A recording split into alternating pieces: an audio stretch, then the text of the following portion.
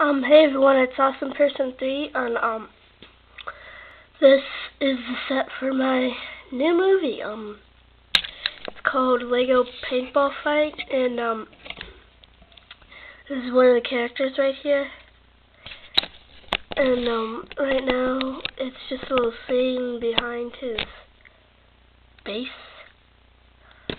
and this is the other character right here. This is like a paintball gun that I made in like two seconds. So, um, I just want to tell you that, um, I'm having some auditions for this guy. Yeah, it's pretty sweet. It's only going to be at the end. They're going to have like a little chat. Um, and so that's, um, how this update video was about. So, um, Audition now.